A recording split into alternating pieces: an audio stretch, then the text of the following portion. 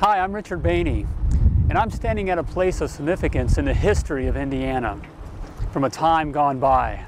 In 1861, this is the original spot of the Indianapolis Union train station. Trains from east and west converged right here. On February 11, 1861, a most honored guest arrived here in Indianapolis. President-elect Abraham Lincoln, who was on his way to Washington, D.C. for his first inauguration. He spent his 52nd birthday here along with his family. He addressed a crowd of 20,000 people here at the train station with a short speech. He talked about the problems the nation was facing and the impending threat of southern states seceding from the Union. But Lincoln made a very important point to Hoosiers who were there that day when he said in his speech, I appeal to you to constantly bear in mind that not with politicians, not with presidents, not with office seekers, but with you is the question. Shall the Union and shall the liberties of this country be preserved to the latest generations? Lincoln had a remarkable way of summing up the obligations of a free people in a few words.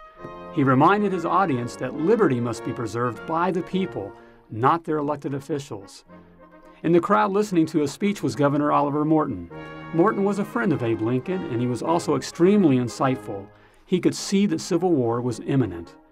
On the heels of Lincoln's visit, Governor Morton called on the people of Indiana to form a volunteer militia to help preserve their country. Shortly after war broke out, Lincoln asked for 7,500 volunteers from Indiana. In three days, 22,000 came forward, so many that some had to be turned away. In the four years of that great struggle, 210,487 Hoosiers stepped forward and volunteered, 15% of the population of our state at that time. They understood that if freedom and liberty were to be preserved, they would have to stand up, step out, and take up arms for a just cause. It's been a long time since Lincoln gave his speech here in our great capital city. And what's happened to our country since then? Well, sadly, and in many ways, we find the spirit of Hoosiers stepping up to preserve freedom has been trampled on by a very large federal government that has overstepped its constitutional boundaries.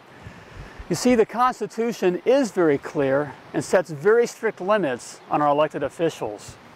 Yet, in this past year, we have seen a government that has been bent on intruding into our lives, telling us what kind of cars to drive, who will be running our private businesses, what kind and how much health care we will have, how we will produce energy, and on and on.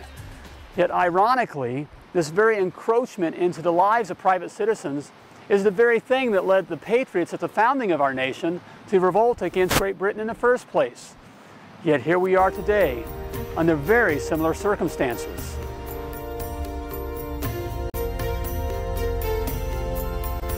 I've come to a place where I feel compelled to stand up and say, enough. Like Lincoln, I believe that the federal government is constitutionally bound to preserve our freedoms, not take them away. Yet here we are with elected officials who believe and act as if they are our boss and not the other way around. Here's what I believe. The Constitution of the United States has been ignored by politicians who are more concerned with hanging on to power than serving the people. I am not a career politician. I'm an average Hoosier who is taking a stand. It's time to say enough to career politicians and send people to Washington who know who the boss is, the citizens of our great nation. Here is what I want to do first. I want to repeal much of the intrusive laws that have stymied our economy and threatened our freedoms. There is something about being an American that says, yes, I can. We don't need the federal government coming into Indiana to bail us out. Hoosiers can take care of their own problems when the federal government gets out of the way. Secondly, I intend to inject some common sense into our federal government. The Obama administration is talking about a $9 trillion debt. Let me illustrate how much money that is. If you took $710 million a year from each man, woman, and child in our state, from the birth of Christ until now, you would have $9 trillion. Are you kidding me?